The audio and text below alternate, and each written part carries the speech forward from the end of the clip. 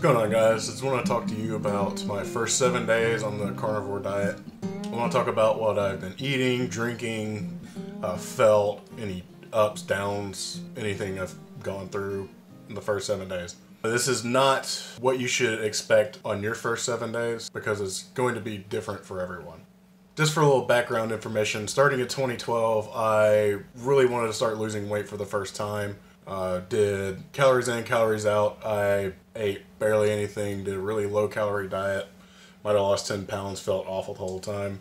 Uh, started reading books very heavily on nutrition. Uh, came across Mark Sisson's book, The Paleo Solution, read that. Started following that as best as I could for being someone who tends to overeat in general. It worked out for me most of the time. Eventually, I was led into the world of keto, which was the result of my dad having a heart attack and me wanting to change as quickly as possible. It went really well. I lost about 90 pounds on the ketogenic diet. When I first started losing weight, my highest weight was probably about 410 pounds.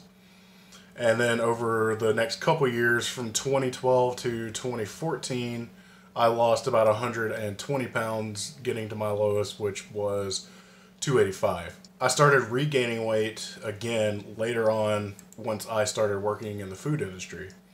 Uh, working fast food uh, was my first job. It wasn't it was like a small town home fast food kind of thing. It wasn't McDonald's or anything crazy like that, but still it was my first introduction to overeating in small amounts and just constant worry of my weight and thinking constantly about it.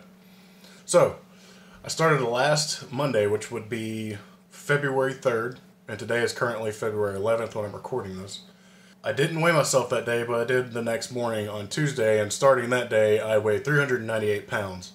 Today, I weigh 390.4 pounds as of 20 minutes ago at about 8:30 p.m. So that's a loss of 7.6 pounds. To start everything off, I basically cleaned out everything from my house that I knew would be detrimental to the diet. I gave away some things, just random stuff that I had because I've been trying to do ketogenic type diets with a lot of failure because it was a little too loose for me for the way my mind's working right now. So I started off, I had like pork tenderloin and pork skins and chicken, just just whatever, just whatever I had the first day. I ate a lot, ate a whole lot. I'm not sure if I counted the calories, but if I did, I'll post them here. But other than that, first day was fine. Didn't feel too many effects. That's true for most diets I've ever been on. First day isn't the craziest. Second day and third day is when it gets weird. Second day, I went to the store and got some ribeye, some New York strip, and some sirloin just to give everything a try. I also ordered uh, some grass fed, grass finished hamburger patties from US Foods. If you don't know what US Foods is, US Foods is a distributor for restaurants and like gels and shit like that. So second day comes around, I have a couple of New York strips, probably weighs about a pound and a half. Have a couple of burger patties and some bacon. Just that's all I have. Uh, it's very very filling. Uh, if you've done this diet, you know immediately once you hit the threshold of where you cannot eat any more meat. You, it's not that you feel sick. It's just that you know that you will if you eat one more bite.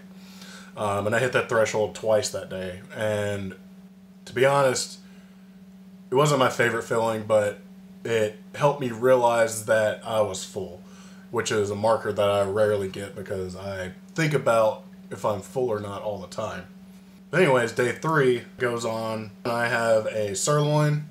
It's about a pound and a half too. Basically, all my my first meal of the day is typically been a steak so far. It's been over a pound, typically a pound and a half of steak. And that'll last me a good seven to eight hours, if not the full day. And if I do eat again, it'll typically be eggs or a hamburger patty that I have in the freezer everything was going well. Uh, I did fantastic up until Sunday, which I had my first what I call cheap, but still technically carnivore. Um, I had these. It was. I went and cooked out at my buddy's house, and I had to have something. It was about one o'clock, and the food wouldn't be ready for another like six hours. So I had some beef bologna and some of these like pepperoni wrap cheese things I got from Publix. Uh, really good, but it felt like I was cheating eating the cheese when the food was finally done, we had like ribs and uh, I had some chuck steak that I cooked and uh, some pork tenderloin. I had it, but during the whole process, I ended up making some barbecue sauce for my friend. and it was pretty exciting because I hadn't made ketchup before, so I made some had to make ketchup for the sauce, which is really cool to do. But in the process of making it, I kept tasting it and tasting it, and of course, ketchup and barbecue sauce are super high in sugar, and it ended up making me feel really, really, really bad.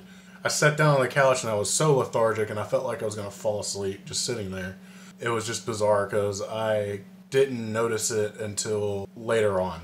I get back home. It's about an hour drive. Uh, the The drive home is really rough because it's hard to. I just feel like I'm about to fall asleep.